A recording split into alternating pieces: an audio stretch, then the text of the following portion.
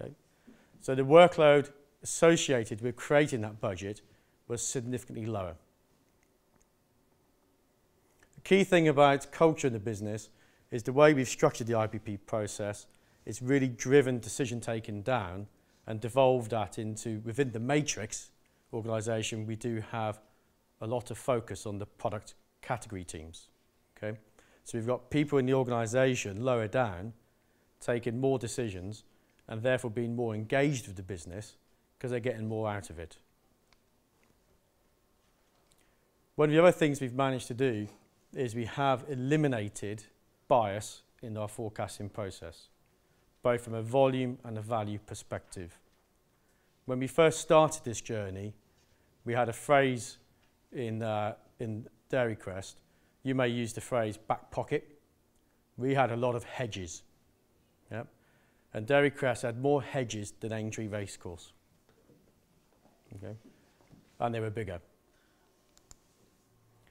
So on reflection, what are the key learnings and pitfalls that we've successfully navigated and avoided.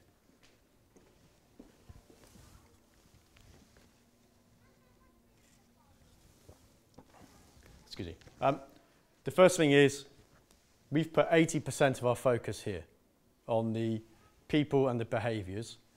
We've put maybe 15% of the effort here and only 5% on the IT tools and enabling the, the data to flow. we got top-down alignment from the very beginning. We had that compelling business need. So the project sponsor was the CEO himself. We invested all of our efforts in terms of training budget. We didn't have a massive training budget, but all of that training budget went into training and educating and re-educating the CEO, which is always quite a risky thing to try and do, as well as the, the man board members and the senior management. Okay? Because if you didn't get everybody talking the same language at the top, then as that's delegated down, we'll have total confusion. We spent an awful lot of time on behaviours and really trying to get out of this back pocket mentality and really try to get people to talk about what they truly believed was going to be the most likely outcome. One of the key things we changed was to move to really embrace the principle of roughly right versus being precisely wrong. This in the context of we just spent millions of pounds on a demand forecasting tool that was going to tell us what our future demand will be for the next three years for every single SKU in weekly buckets to 10,000 delivery points. And it was also going to tell us how much we we're going to charge for those and how much profit we're going to make. Okay? We had to reverse back from that and said, actually, that's crazy.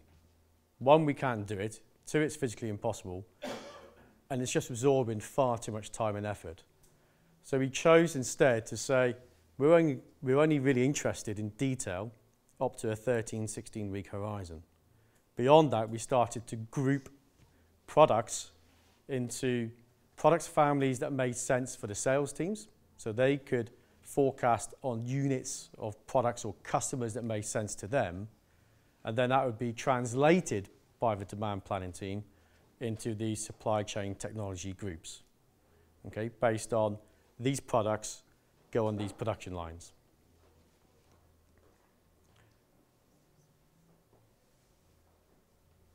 One of the other decisions we took was um, on pricing and trying to project what were we going to charge for each and every product in the future. So we, 80% of our volume of Cathedral City is sold on deal, and that's increasing. So our base volume of sales is very, is very low now. So rather than trying to predict from the beginning of the year what are we going to charge for that product, we simplified it to say it's either a base price, it's a shallow deal, or it's a deep cut reduction. And we found that gave us a more accurate result than trying to do it by every single individual item. What it did for us is it meant the sales team brought into the process. They did a lot less data entry. They freed up the demand planning team to work a lot more collaboratively with demand So having those discussions and helping the sales guys on which metrics could be the most effective and also giving the heads up to the supply chain team to say, to be honest, on this estimate, it's high risk, we've not done this before, although we're saying it's 1,000, it could really be 500 or 2,000. And that then enables the supply chain team to focus on those individual events.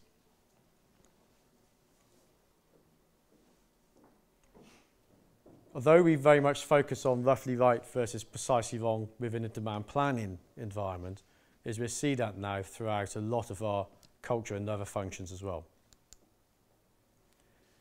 We stopped focusing on mean average percentage error and weighted average percentage errors as the key measures of forecast accuracy. Yeah. Because ultimately, if I have four results and each error of those four forecasts are 20 each, the average, even by my maths, is 20. But I know my supply chain can cope with an error of plus or minus 20.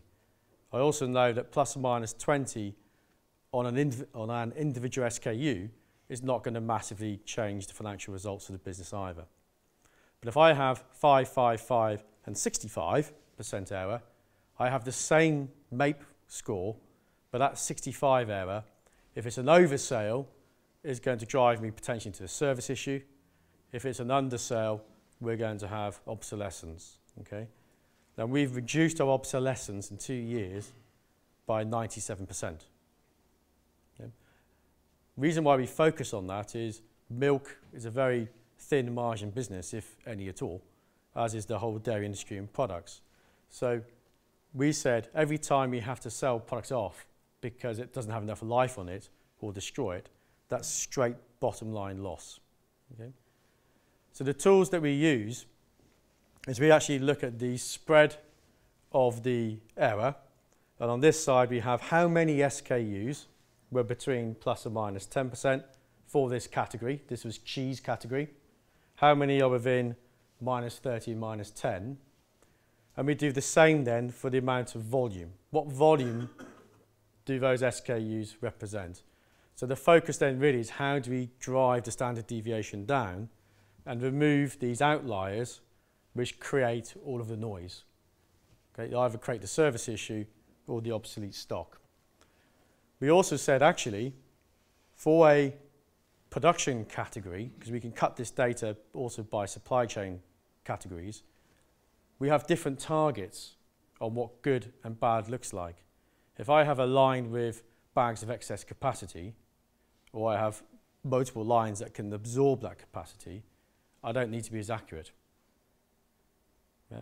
If I have a group of lines that are very uh, capacity utilized, then any significant errors in forecast are going to create not only the service issue, but I may be making the wrong thing, and I've used that capacity making something I don't need, and then I haven't got the capacity available to supply the oversale when it comes in. Keeping it simple, really focus on the behaviours rather than the detail. So is a good meeting one that generates a thousand charts? Yeah. For us, it's not. It was that way when we started. What was important was that we structured every meeting by these four sections. Did we do what we said we were going to do? So looking back, have we delivered the performance? Is our forward plan realistic? I guess we've all seen charts that say this is our current performance.